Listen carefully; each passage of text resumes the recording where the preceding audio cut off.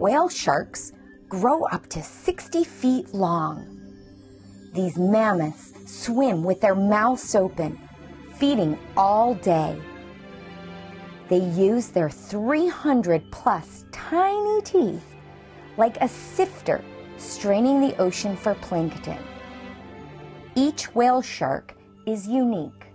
Their fingerprint is the white spots on top of their body. Using counter shading for protection, these animals have a white underbelly and are dark and spotted on top. They look like they move really slow, but their seven foot tails possess a powerful swish. Whale sharks, the largest fish in the sea.